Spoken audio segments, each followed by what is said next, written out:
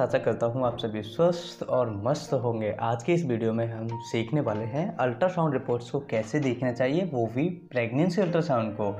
आशा करूँगा कि आपके सारे क्वेश्चन आंसर्स के जवाब इस वीडियो में मिल जाएँगे और हम सीखने वाले हैं एंटीर इम्प्लांटेड क्या होता है ग्रेड टू मैच्योरिटी क्या होती है सिफेलिक और विच प्रेजेंटेशन क्या होता है हार्ट रेट कितनी होना चाहिए एमनेटिक फ्लूड कम है या ज़्यादा है बच्चे की गर्दन में कोई लूप, यानी कोई उसका जो अम्बलाइकल कॉर्ड है, उसने अंटा तो नहीं लगाया है? या फिर इसमें सीखेंगे बच्चे का मूवमेंट है या नहीं है? बच्चे का हेड सर्कमस्टांसेस कितना है? बीपीटी कितनी है? ईसी e यानी एब्नो सर्कास्टेसिस कितना है? और एफ़ एल यानी फीमर लेंथ कितनी है? और संभावित तिथि क्या है? डिलीवरी की इस वीडियो में हम सीखेंगे। और बच्चे का वज़न कितना है? या फिर कोई एबनॉर्मिटी यानी इस अल्ट्रासाउंड के अंदर कोई परेशानी अगर आती है तो आपको किस तरह से देखना है।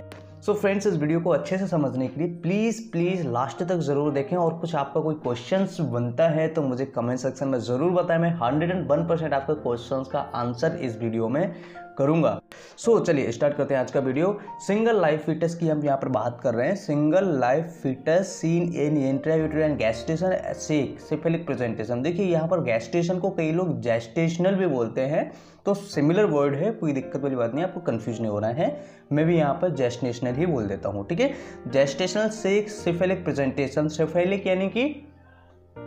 दो प्रेजेंटेशन मोस्ट कॉमन होती हैं, एक सिफेलिक होता है, एक विच प्रेजेंटेशन होता है। विच प्रेजेंटेशन थोड़ी सी एबनॉर्मल होती है, उसमें बच्चा उल्टा हो जाता है और उसके भी टाइप होते हैं तकरीबन, ठीक है? लेकिन यहाँ पर सिफेलिक जिन अल्ट्रासाउंड में आता है, वो नॉर्मल प्रेजेंटेशन होता है, कोई घबराने की बात नहीं होती है। जेस्टेशनल की अगर हम बात करें तो ये आपका टाइम होता है प्रेगनेंसी का, कितने हफ़्ते चल रहे हैं। ये एक डिसाइड करता है अल्ट्रासोनोग्राफी के अनुसार या फिर टाइम के अनुसार। तो गैस्ट्रेशनल पूरी प्रेगनेंसी का जो टाइम होता है, उसे हम कहते हैं।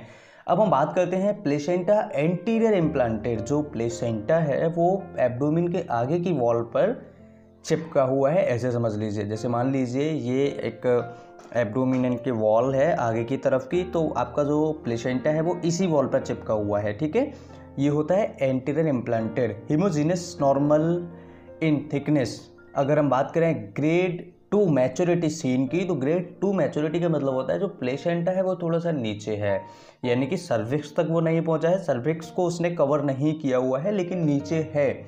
जबकि ये नीचे ग्रेड टू तब होता है जब थर्टी वीक्स को जो प्रेग्नेंट वुमेन होती है, उनका निकल जाता है। थर्टी वीक्स अगर से थर्टी वीक्स से ज़्यादा जिन महिलाओं का टाइम होता है, उसमें ये ग्रेड टू मैच्योरिटी आने के चांसेस ज़्यादा होते हैं बट इसमें घबराने की कोई ज़रूरत नहीं है नॉर्मल है थोड़ा सा पेट में दर्द वगैरह रह सकता है ऐसी महिलाओं को तो टेंशन वाली कोई दिक्कत नहीं है, लेकिन फिर भी एक बार डॉक्टर से मिल लें। इसके बाद हम बात करते हैं एमनोटिक फ्लूड एमनोटिक फ्लूड आपके बच्चे के प्रोटेक्शन के लिए काम आता है, बच्चे को प्रोटेक्ट करता है, जो बाहरी मूवमेंट होते हैं, उनसे प्रोटेक्ट करता है, और बच्चों को कोई दिक्कत नहीं होने देता है। यहाँ पर लिखा हुआ एडिक्वेट एडिक्वेट यानी कि नॉर्मल है, कोई दिक्कत नहीं है पूरी मात्रा में है, ओके? अगर कार्डियक एक्टिविटी की बात करें तो यहाँ पर एक सौ सत्तावन बीपीएम बच्चे का जो हार्ट है, एक मिनट में कितनी बार धड़क रहा है, वो यहाँ पर हम देखते हैं रिदमिक कार्डियक एक्टिविटी एक सौ सत्तावन बार एक मिनट में बच्चे का दिल जो है वो धड़क रहा है, यानी कि नॉर्मल है। अगर 180 से ऊपर जाता है तो प्रॉब्लम क्रिएट होती है और अगर 140 135 से नीचे आता है तो भी दिक्कत होती है। अब हम बात करते हैं फिटल मूवमेंट के बारे में। यानी जो बच्चा है, वो यहाँ पर मूवमेंट कर रहा है या नहीं कर रहा है? अगर कर रहा है, इसका मतलब है नॉर्मल है। अगर नहीं कर रहा है तो कोई ना कोई प्रॉब्लम हो सकती है। फिटल मूवमेंट का मतलब ये होता है, यानी बच्चा आपका नॉर्मल मूव कर रहा है। तो यहाँ पर लिखा हुआ फिटल मूवमेंट आर सीन यानी बच्चे का मूवमेंट देखा गया है। अब हम बात करते हैं fetal head and spine are normal यानी बच्चे की जो स्पाइन है, जो रीढ़ की हड्डी है, वो नॉर्मल है, जो और हेड है, यानी सिर है, वो भी नॉर्मल है तो यहाँ पर कोई दिक्कत वाली बात नहीं है। अब हम बात करते हैं a loop of cord around neck यानी जो गर्दन है बच्चे की, उसके चारों तरफ़ जो प्लेसेंटा जो कॉर्ड होता है अम्लाइकल कॉर्ड होता है, उसने एक अंटा लगा लिया है। बस सिंपल तो आपको घबराने की ज़रूरत नहीं है। अगर यहाँ पर दो लूप होती हैं तो दिक्कत होती है। तो आपको अभी कोई घबराने की ज़रूरत नहीं है, लेकिन फिर भी एक बार डॉक्टर से ज़रूर मिल लेना चाहिए, अगर कोई कॉम्प्लिकेशन बनता है तो। अब यहाँ पे लिखा हुआ no obvious fetal anomaly why detected at this examination it must be noted that detail fit anomaly may not always be visible due to technical difficulties related to fetal position amniotic fluid volume fetal movement and abdominal wall thickness anomaly may not necessarily we detected at every examination ठीक है detail fetal echo not include in this scan इनका कहने का मतलब simple ये है कि कुछ ऐसी परेशानियाँ, कुछ ऐसी डिफ़िकल्टीज आ सकती हैं, जैसे बच्चे की पोजीशन में एमनोटिक फ्लूड में वॉल्यूम में फेटल मूवमेंट में एब्डोमिनल वॉल थिकनेस में, अगर कोई टेक्निकल फॉल्ट आ जाए, जैसे कि कोई मशीन में टेक्निकल फॉल्ट आ जाए तो हो सकता है कि ये सारी चीज़ें नहीं दिख पाए उनको सही तरीके से तो वहाँ पर कोई प्रॉब्लम देखने को मिल सकती है। लेकिन इस वाली फेटल एनोमली में, इन्होंने क्या बोला है? No obvious fetal anomaly by detected यहाँ पर क्या बोल रहे हैं कि इसमें हमें कोई एबनॉर्मलिटी देखने को नहीं मिली है, लेकिन एक परसेंट ज़ीरो परसेंट चांस होता है कि कोई टेक्निकल फॉल्ट की वजह से वो नहीं दिखा हो, ऐसा हो सकता है। ज़रूरी नहीं है कि हुई, ठीक है? क्योंकि जो एग्जामिनेशन करते हैं, जो मशीन्स होती हैं, वो सही तरीके से चेक कर ली जाती है और समय समय पर उनकी सर्विसेज़ वगैरह सब कुछ होता है, इसलिए टेक्निकल फॉल्ट आने के चांस कम होते हैं। लेकिन कई बार आ भी जाते हैं। अब हम बात करते हैं बीपीडी की। बीपीडी यानी बायपेराइटल डायमीटर तो यहाँ पर इस बच्चे का बायोपराइटल डायमीटर जो है वो इकहत्तर एम mm है, जो कि नॉर्मल है। अगर 100 से ऊपर जाता है या फिर 30 से नीचे 40 या 30 से नीचे आता है तो थोड़ी सी दिक्कत होती है 28 वीक में। हम 28 वीक की बात कर रहे हैं, ये आपको ध्यान रखना होगा। ठीक है? अब हम बात करते हैं एचसी के बारे में। एचसी यानी हेड सर्कमस्टांसिस बच्चे का क्या है और कितना होना चाहिए? अगर ये टू से नीचे आता है तो कम है। बच्चे में दिक्कत होगी। और अगर ये 300 से ऊपर जाता है तो थोड़ा सा बड़ा हुआ है, ज़्यादा है। ठीक है? तब भी प्रॉब्लम हो सकती है।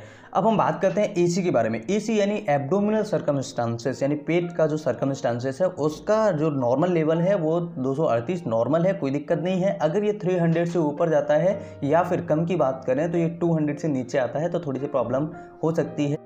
याद रखें यहाँ पर हम 28 वीक की बात कर रहे हैं। आ, ऐसा ना हो कि आप कोई आ, कम वीक्स का अल्ट्रासोनोग्राफी देख रहे हो जैसे 14 वीक्स का देख रहे हो या फिर बीस वीक्स का देख रहे हो तो वहाँ पर थोड़े से ये कम आएँगे ठीक है?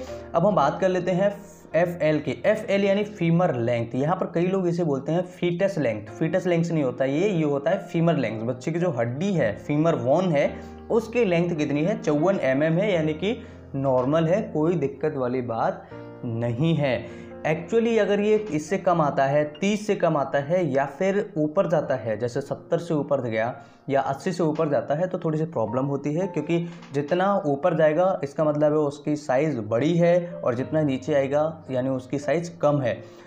सो so, यहाँ पर हमने सात चारों के बारे में समझ लिया है BPD H C A C and F L के बारे में। अब हम बात करते हैं इम्प्रेशन में। अगर कोई प्रॉब्लम अल्ट्रासोनोग्राफी में आती है तो यहाँ पर आपको दी जाती है कहाँ पर? इम्प्रेशन में। Single life fetus with gestational age 28 week 5 day यानी कि 28 वीक का ये अल्ट्रासोनोग्राफी है और यहाँ पर कोई दिक्कत वाली बात नहीं है। देखिए जेस्टेशनल मैंने आपको क्या बताया? प्रेगनेंसी टाइम पूरा होता है तो यहाँ पर क्या दे रहे हैं? जेस्टेशनल एज जो टाइम है, वो 28 वीक तक हो चुका है, ठीक है? तो यहाँ पर जो प्रेगनेंसी टाइम होता है, उसे हम अपनी भाषा में गैस्टेशनल एज कहते हैं। कहते हैं।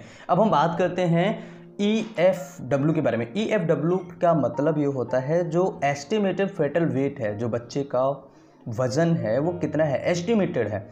बारह सौ चवालीस माइनस प्लस एक सौ इक्यासी ग्राम्स यानी कि बारह सौ चवालीस तो है ही और इसमें माइनस प्लस हमने कर दिया है एक सौ इक्यासी ग्राम्स तो इसमें इतना कम या ज़्यादा हो सकता है।